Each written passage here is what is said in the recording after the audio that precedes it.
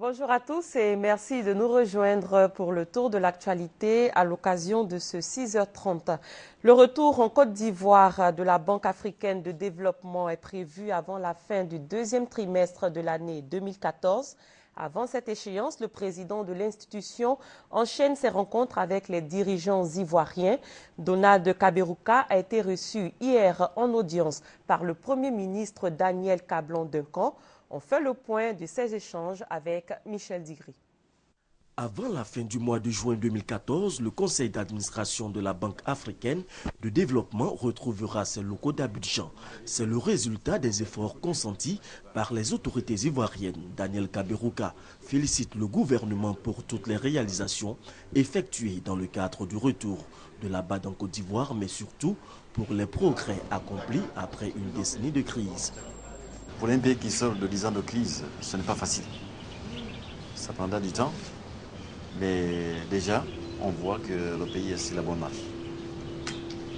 Deuxièmement, je tenais à rendre compte à Monsieur le Premier ministre du, programme de retour de notre institution, qui est déjà amorcé et qui va se compléter dans les mois à venir.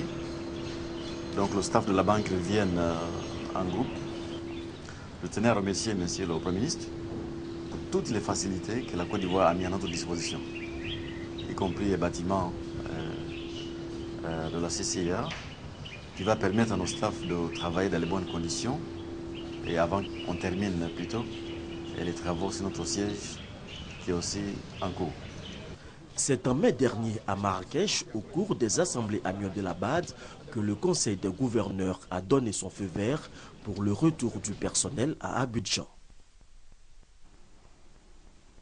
L'équipe fiscale de la Direction générale des impôts doit obtenir 1 588 milliards de francs CFA pour le budget 2014. Pour atteindre cet objectif, le directeur général des impôts, Pascal Abina, a initié un séminaire bilan 2013. Les explications de Noël Nyagnou.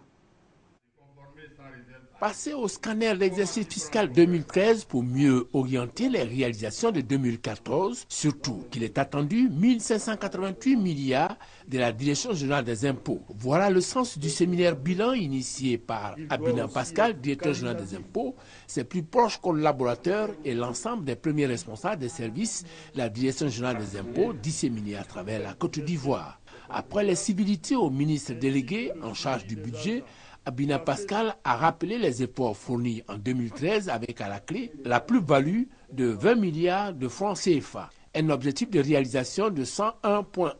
1410 milliards fixés, 1425,9 milliards réalisés. Pour réussir 2014 des recettes. Un accent très particulier doit être accordé au cours de cette année à l'amélioration de l'action en recouvrement et surtout à la réduction des arriérés fiscaux par la mise en place d'une politique de gestion maîtrisée. Il s'agit entre autres de mettre un accent particulier sur la lutte contre la fraude fiscale et l'évasion fiscale, a indiqué Abina Pascal.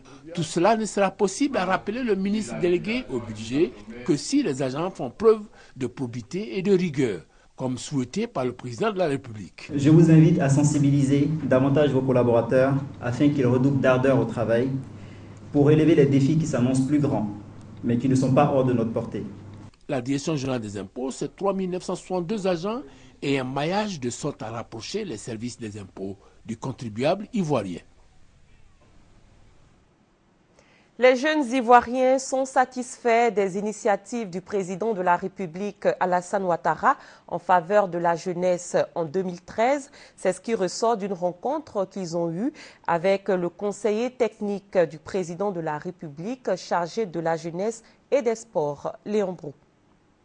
Pour 2013, la promesse d'un million d'emplois du chef de l'État aux jeunes n'a pu se réaliser. Des initiatives se sont cependant multipliées elles attestent les bonnes performances du président Alassane Ouattara, toujours selon les jeunes. Il y a un début, n'est-ce pas, de, de, solution. Et ça, c'est déjà bon.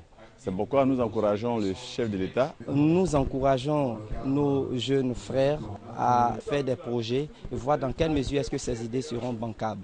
Ces initiatives du chef de l'État en matière de création d'emplois, en voici.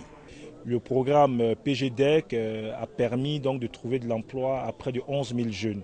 le processus DDR a permis de réinsérer plus de 11 000 jeunes. à travers l'AGEP, ce sont près de 4 000 jeunes à cela s'ajoutent les emplois créés dans le cadre de l'exécution des grands travaux de l'État, pont Harry Bédier, autoroute Abidjan-Kambassam, programme des logements sociaux, etc.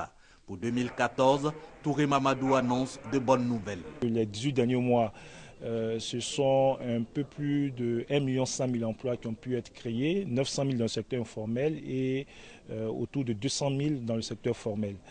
Euh, le président avait promis 1 million d'emplois aux jeunes. Euh, nos projections disent clairement que d'ici 2015, c'est près d'un million 700 000 emplois que nous pourrons créer. Au total, les fondements du million d'emplois sont déjà réunis par le chef de l'État, selon ses conseillers chargés de la jeunesse et de la communication. Touré Mamadou et Koulibaly Amadou demandent seulement aux jeunes de renoncer à toute velléité de déstabilisation. La condition restant pour réaliser leur bonheur étant la paix durable, ont-ils indiqué. On s'intéresse à l'enseignement supérieur. Un partenariat vient d'être établi pour l'insertion des étudiants de l'INP-HB. On en parle avec Kwadio Kwami. Ce projet vise à développer un modèle d'élaboration des curricula de formation dans le secteur de l'agronomie, secteur au cœur des enjeux économiques de la Côte d'Ivoire, du Niger et du Bénin. Il s'agit en clair, selon Dr Kofi directeur de l'Institut national polytechnique Félix boigny de contribuer à l'amélioration et à l'innovation pédagogique du troisième cycle d'études supérieures en Afrique de l'Ouest et surtout de porter au moins à 30% le nombre de femmes dans le secteur des sciences agronomiques. Fondé sur les masters en agronomie innovante, ce projet tire sa spécificité de la priorité accordée à l'adéquation formation-emploi une formation qui repose donc sur la satisfaction des besoins précis exprimés par le marché de l'emploi au niveau des trois pays partenaires, et ce, avec l'appui de Supagro de Montpellier, France. Estimé à plus de 350 millions de francs CFA, ce projet qui va durer 42 mois est financé par l'Union européenne. Madame Mansila Aboutier, directrice de cabinet du ministère de l'Enseignement supérieur, a ouvert le séminaire de démarrage du dit projet. Elle s'est réjouie de ce que les formations proposées n'offriront plus de chômeurs. Ce sont 70 enseignants-chercheurs, 30 techniciens de laboratoire qui ont bénéficié de renforcement des capacités pour le succès de ce projet.